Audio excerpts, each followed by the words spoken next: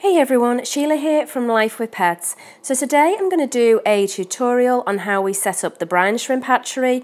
When we showed it a few weeks ago, I got several requests on would we do a video on exactly how we set it up and what we used and so that's what I'm going to show you today.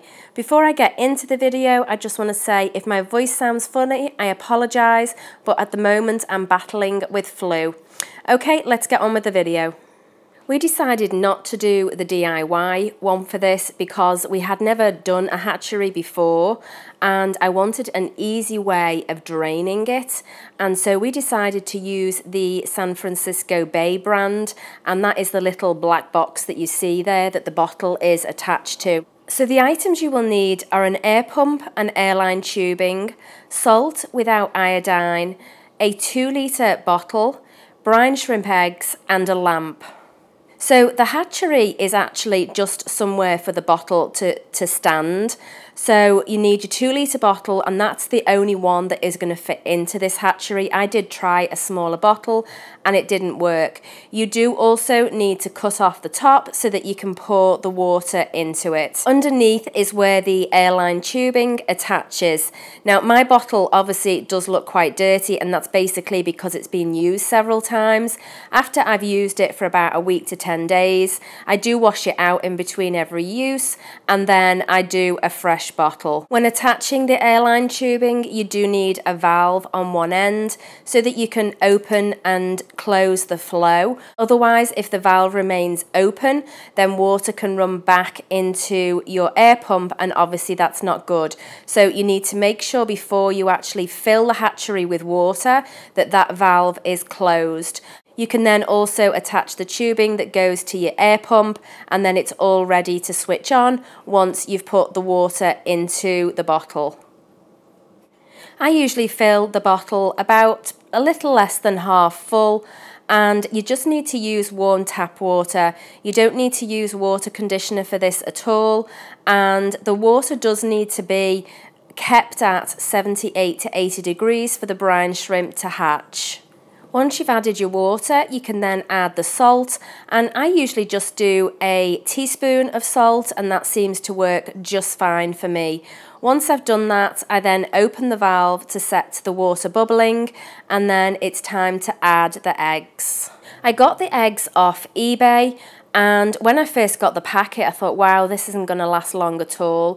But they have lasted a really long time. We are still only on the first bag, and as you can see, there's still a lot left. I do only do about a half a teaspoon at a time, and that I find that that will do the goldfish for two days. The Once the eggs have hatched, the brine shrimp, the baby brine shrimp, will live in the refrigerator for up to 48 hours. After that length of time, they've considerably lost their nutritional value. Once the eggs are in and it is bubbling, you then need to just put your lamp over the top and typically within 24 to 36 hours, the eggs will have hatched. So after that length of time, we'll come back and I'll show you how we drain it and then feeding it to the goldfish. So it's 24 hours later and as you can see the water was very orange and that means that they did hatch. If you put the light lower down when you're ready to collect them, then they will all sink to the bottom. Any eggs that didn't hatch will then float out of the way to the top. So to drain them, all you have to do is get a dish ready and open the valve and they will come pouring out. Sometimes I have an issue with this and they, it, they don't seem to want to come out. The, the flow to get it going can be quite difficult because it seems to come out very thick. They're all sort of jammed in there. But once the flow gets going, then they eventually will come pouring out. Baby brine shrimp are one of the best things to feed any fry because they're very, very high in protein.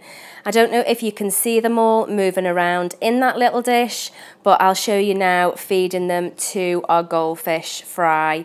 So as you can see, our little guys have gotten a lot bigger and what I do is I just tilt the, the little dish to one side and then use the straw to suck it up and then just pop it in and they go crazy for it. They absolutely love this food. This is actually not their staple diet now. They're eating so much more, but we are still feeding the baby brine shrimp simply because it's extremely good for them. It's good for their growth. And also it does stay in the tank for a long time. You don't have to worry about cleanup because the food is live and will stay live in the tank for quite a long time. Then it promotes them eating and it just gives them something that they can graze on over a period of time because the brine shrimp will just swim around the tank. Although with these little guys, they are such piggies that this food doesn't last any time at all. I just cannot get over how much these goldfish actually eat. I will be doing a six week update on these little guys on Friday. I cannot believe that they are almost six weeks old. I just find that incredible. But I'll be doing the update and going over everything that we're doing with them, what they're eating now, our water schedule routine, so make sure you stay tuned for that. If you're not subscribed to our channel and would like to see more videos like this, then please do so, and we'll see you next time.